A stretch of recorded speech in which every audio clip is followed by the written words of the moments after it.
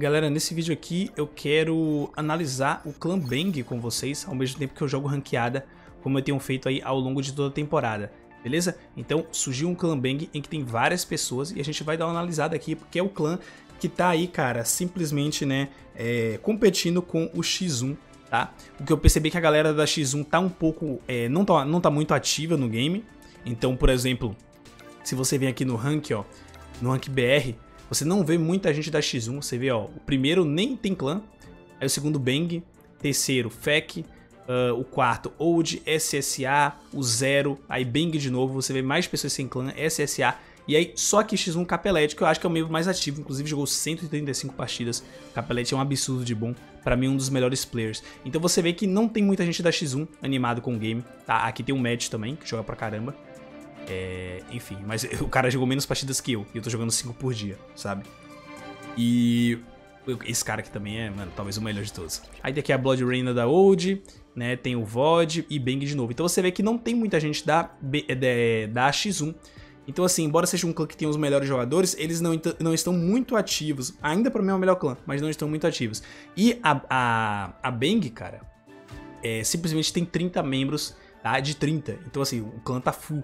E aí os, jogadores são a Miz, o Laf, o Zerg, o Hydra, uh, Hydra inclusive excelente player, tá nível 338, um absurdo. Akashi, incrível também. Incrível que o Akashi também, o Akashi joga muita partida, mas o Hydra ainda assim joga mais, meu Deus.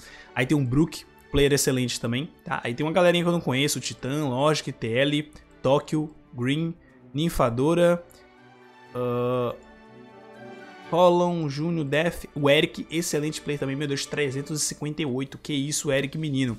Que de porrada.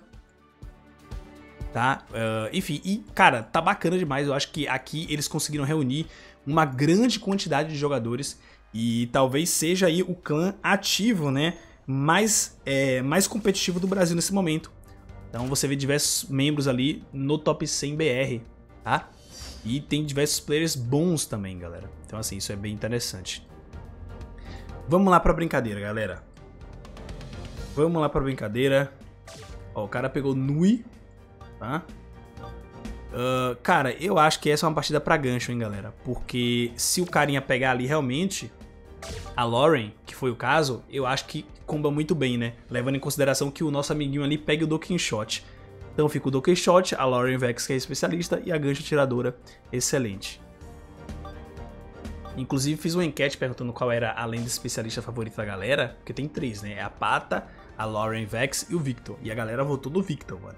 Então o Victor aí é uma lenda bastante amada, né? A enquete teve, sei lá, uns 500 votos pelo menos. Muito, muito maneiro. E o Ravi ali, nova skin, né, cara? Que eu inclusive mostrei no vídeo o código pra vocês. Então assim, tem como. Vambora, né, galera? Vamos pra brincadeira. Partiu demais, mano.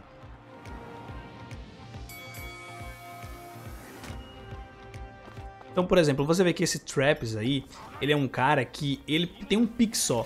E assim, você ser monopick nesse jogo é um problema muito grave, tá, galera? Porque se você precisar de uma... Tipo assim, ah, já tem, sei lá, o Victor é especialista. Se o cara do time dele, um pegar a Pata e o outro pegar a Lauren, ele vai pegar o Victor. E vai ficar muito prejudicado, sabe? Então... É esse padrão que eu percebi, assim, sabe?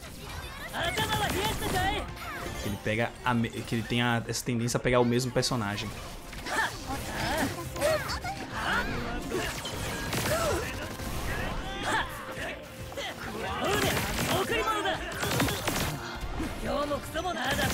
Acho que o amiguinho caiu ali, né?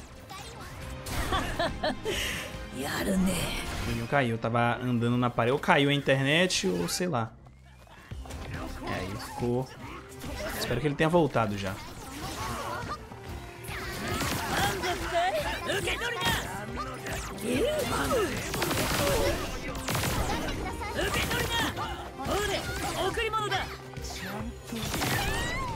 O negócio da Nui, galera, é só você aguardar ela cair no chão, tá? Nossa, cara, esse expurgo da gancho. Na moralzinha, mano. Esse expurgo da gancho é demais, galera. Pô, por que, que o Don Quixote... Olha aí, galera. É, galera, acho que a internet tá caindo, mano. Você viu o Donkey Shot lutando ali no vazio?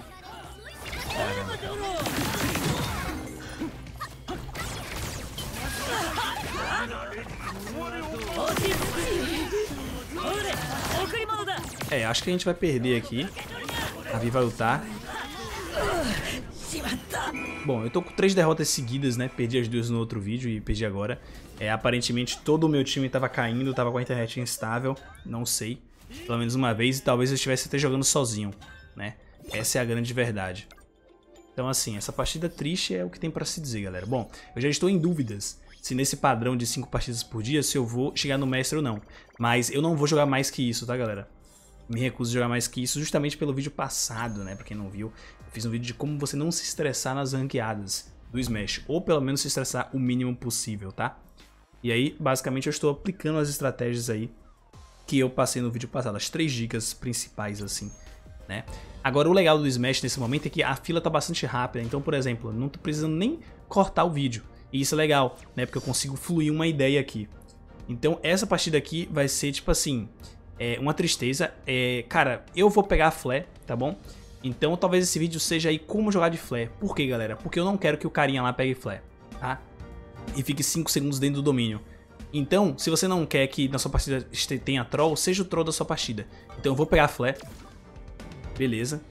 Acho que ele já sabia. Não sei se ele tentou pegar antes ou ele só desistiu.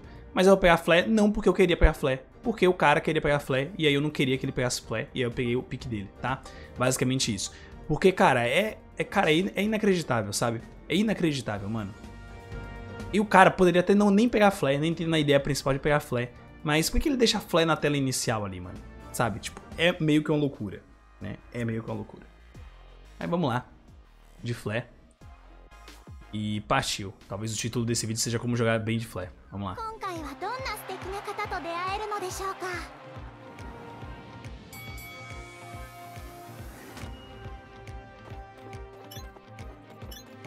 E Lefa, você sabe jogar Flare? Não, não sei.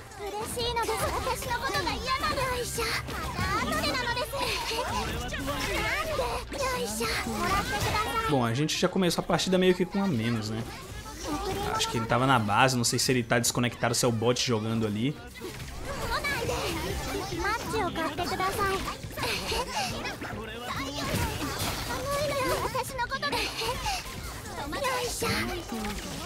Ai, pegou na pontinha ali. Bom, bom que o pouco já conseguiu voltar, tá, galera? Então isso é ótimo. Tá 2x0 e eu sequer precisei ultar. É, voltar aqui, galera. Só pra criar uma, uma confusãozinha maior. E aí eu ulto de novo aqui. A galera fica totalmente confusa e a área fica cheia, né, de... Fica cheia de damage da Flare. E, cara, a quantidade de dano ali que deu é absurda. E levamos, ó. 4 a 0 Isso é, no mínimo, curioso, né, cara? E tá aí. MVP de Flare, tá? Sem clickbait. Cara, o negócio da Flare é o seguinte, galera, não é que eu não gosto da Flare, mas a galera não sabe como jogar com ela. Então, olha isso aqui, cara. Numa partida em que eu dou 11 mil de dano, sabe? Muito mais que a que deu 6 mil. O pouco deu 9 mil, mas ele tá full runa, com runa de dano, certo? E aí, ó, olha isso, 17 segundos para o domínio. Você vê que até comigo, né, jogando da maneira correta, por assim dizer, de Flare, eu acabei ficando menos tempo do domínio. Por quê? Porque ela é uma atiradora. Ela vai ali pular e dar ataque básico, ela vai para trás com recuo. E não só isso, ela vai uh, ultar, ela vai para trás com recuo, sabe? A, o pulo, a skill aérea dela, ela também, tipo, acaba se deslocando muito. Então, assim, é muito fácil você sair de dentro do domínio. Mas a questão é, por exemplo, o cara tá sozinho lá, e ele sozinho lá, ele tá tipo assim, ele e um cara. Ele poderia só ficar no domínio pulando, se esquivando. E aí o cara vai lá, dá um ataque básico, dá um pulo de ataque básico, dá um pulo skill. E acaba saindo do próprio domínio e dá de presente o domínio pro outro cara, sabe?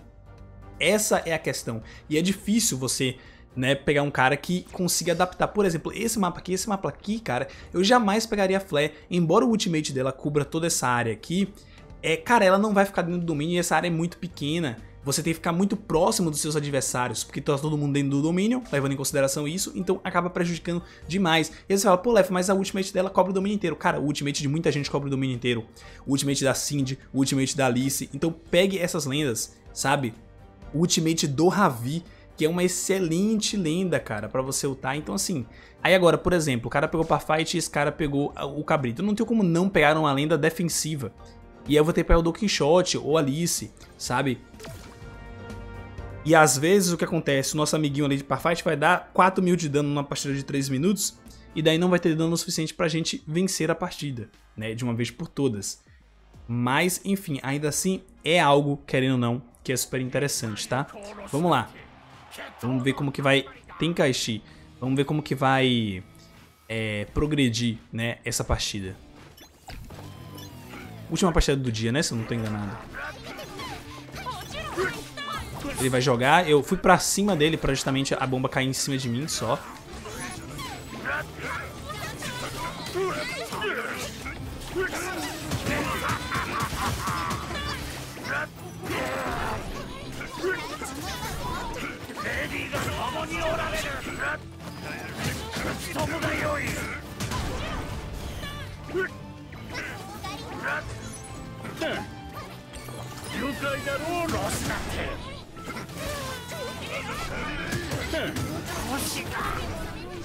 Você vê 2x0, né? Perdendo de, tipo assim, mano. Perdendo de uma maneira muito feia e provavelmente vai ser um 4x0, sabe? E eu tô completamente ok com isso. A galera fala assim, ah, o Cabrito ele tem um range pequeno, então vamos pegar ele aqui. Cara, eu não uso Cabrito, cara. Cabrito é a pior lenda desse jogo. Sabe? Tipo, pelo amor de Deus, eu não uso Cabrito. Tem outras lendas legais, o jogo tem 33 lendas.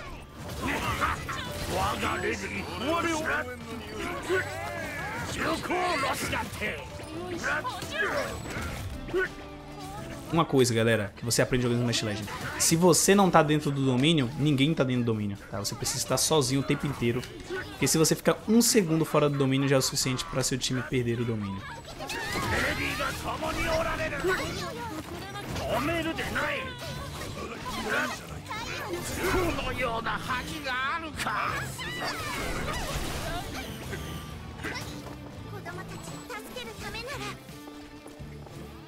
Bora. 3, 1.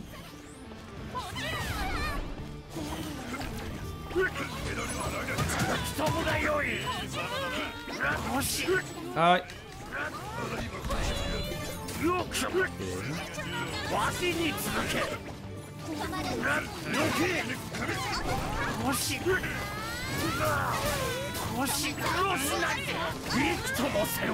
Ó, oh, que isso, hein, galera. Foi na última do dia. Será que a gente volta pro Platina 1? Eu já nem sei mais que ela eu estou.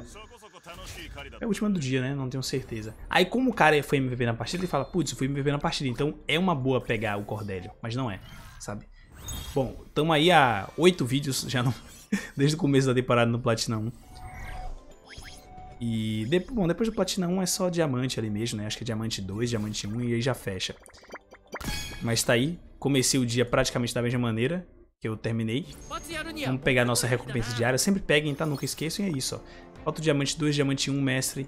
Lendário talvez. Lendário acho que eu não chego. Acho que a gente termina aí no, no mestre. E eu não sei também, galera, se eu vou conseguir durante toda a temporada jogar uma partida por dia, né? Pelo menos por esses 14 primeiros dias eu vou jogar, né? Porque todo dia eu tô aqui coletando. Faltam 9 dias, né? Então cada dia eu gravando dois vídeos, são pelo menos 18 vídeos pra vocês aí, tá? Nesses 9 dias restantes, 18 vídeos, um por dia. Então assim, vocês vão ter vídeo bastante dia na temporada. Mas não sei se eu vou ficar com dessa maneira não, cara. Depois que o pacote acabar, ou eu compro outro pra continuar, ou eu começo a jogar as 5 partidas diárias no celular, duelo, tá? Pra farmar a gema. E eu não deixo de farmar a gema porque assim, basicamente, você aí, cara, tá, fica sempre com muito respiro de gema, tá bom? É isso, pessoal. Obrigado a vocês que assistiram. Até a próxima. Valeu, falou, fui.